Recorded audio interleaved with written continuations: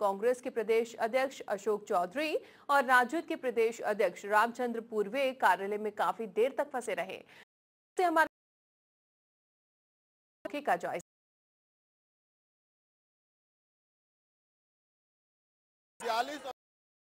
जारी सूची जारी करने वाले नीतीश कुमार थे और उनके साथ जदयू के प्रदेश अध्यक्ष वशिष्ठ नारायण सिंह थे। कांग्रेस के अशोक चौधरी थे और राजद के रामचंद्र पूर्वे थे। जब ये उम्मीदवारों की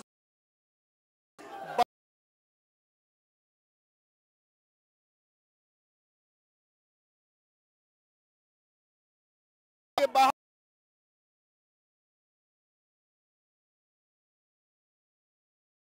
पूरी तरह से हंगामा कर रहे हैं और नारेबाजी कर रहे हैं। और यह एक तरह से कहा जा सकता है कि खुली बगावत पर उतर आए हैं जदयू आरजेडी और कांग्रेस के।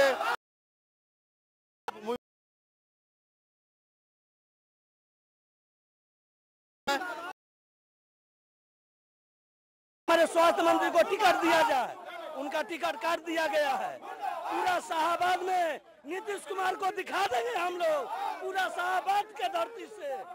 इनका विधायक। अब मुस्तैद हो गई है, चूँकि नीतीश कुमार को जाना है और इस बीच यहाँ हंगामा हो रहा है तो वैसी स्थिति में पुलिस भी और जारी है, अंदर नीतीश कुमार है, बाहर विरोध है, ये एक तरह से कहा जा सकता है कि जदयू में टिकट बंटवारे पर हुई एक तरह से रोड के सामने विरोध प्रदर्शन कर रहे हैं। कैमरामैन पप्पू कुमार के साथ राजीव रंजन एसएमबी पटना में बीजेपी के कार्यालय में बख्तियारपुर के बीजेपी कार्यकर्ता अवधेश यादव के नेतृत्व में धरने पर बैठ गए हैं। पार्टी कार्यकर्ताओं ने आरोप लगाया विधान सीट पर पुराने कार्यकर्ताओं को उपेक्षित और नजरअंदाज कर गैर बीजेपी उम्मीदवार को पैसा लेकर टिकट दे दिया गया है। जो कभी बीजेपी का सदस्य ही नहीं था। कार्यकर्ताओं की मांग है कि पार्टी के द्वारा रणविजय सिंह उर्फ़ लल्लू यादव का नाम वापस लेकर यादव किया जाए।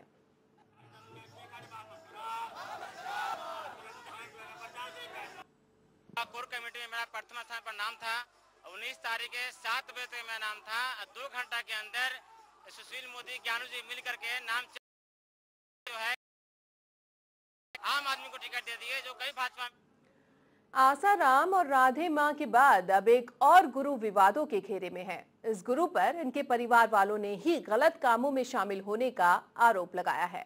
परिवार वालों का कहना है कि संत चोला फरीदाबाद और आरोप लगाने वालों में खुद गुरु की माँ और भाई भी शामिल हैं। विवादों में है सिद्धदाता आश्रम।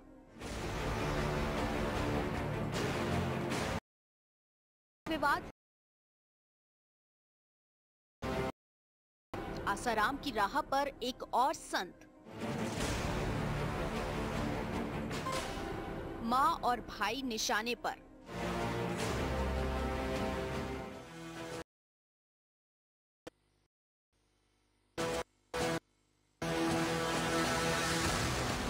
ये है फरीदाबाद का सिद्धदाता आश्रम। ये आश्रम इन दिनों विवादों में है। आश्रम में कुछ लोग विवाद है कहना है कि विवाद की जड़ आश्रम के कर्ता धर्ता का अनैतिक कार्यों में शामिल होना है।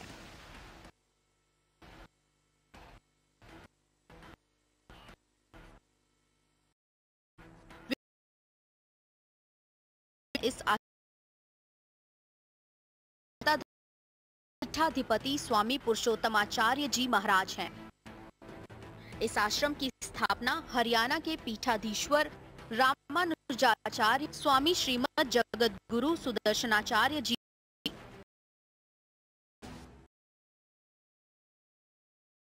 पुरुषोत्तमाचार्य ने गद्दी संभाली। माना जाता है कि विवाद यहीं से शुरू हुआ। गद्दी पर कईयों की नज़र थी, लेकिन माना जाता है कि ताकत के दम पर पुरुषोत्तमाचार्य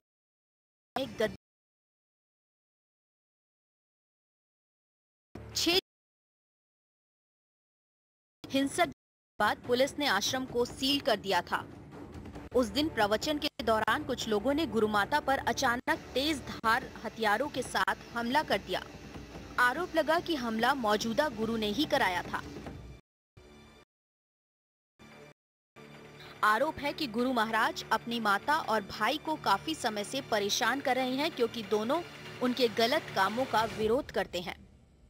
हमले वाले दिन गुरु माता भक्तों के बीच कुछ खुलासा करने वाली थी।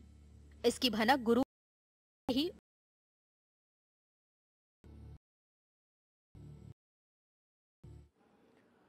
और इस पूरे मामले को लेकर मठ में भक्तों का क्या कुछ कहना है? चलिए आपको सुनाते हैं। क्या नाम है आपका? रोहित सिद्धवानी ने आरोप लगाया है। क्या है पूरा मामला? सिद्धाता आश्रम जनहित सेवा चैरिटेबल ट्रस्ट संचालित किया गया है और उसके द्वारा ही चल रहा है। महेंद्र शर्मा और उसकी बहनें इस सिद्धाता आश्रम को अपना प्राइवेट प्रॉपर्टी समझ रही है। का प्रॉपर्टी रहा है। तारीख में शर्मा अपनी बहनों और माताजी के साथ ट्रस्ट में हिस्सा मांग रहे हैं, जो कि पॉसिबल ही नहीं है, क्योंकि प्रॉपर्टी ट्रस्ट की है। इसके कार इसलिए उसने गुंडागर्दी की, अपने साथी बी के वर्मा के साथ 50-60 गुंडे ले आके मारपीट की, सेवादारों को है घूम रहे हैं। उन्होंने कोर्ट में ये भी कहा कि उसके साथी बी के वर्मा ने गुंडे लाए थे, उसने ये बात कबूल की है कोर्ट में। वक्त एक छोटे से ब्रेक का है, जल्द लौटते हैं।